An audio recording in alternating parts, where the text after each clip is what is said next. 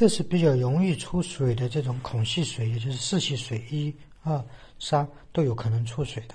这种一般建议施工在二百四十米左右。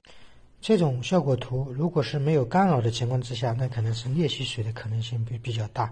像这一些可以施工在这个位置来进行打井啊。像这种一般会打的一半或者是三分之一处，可能就会出水。嗯，这一类型的效果图。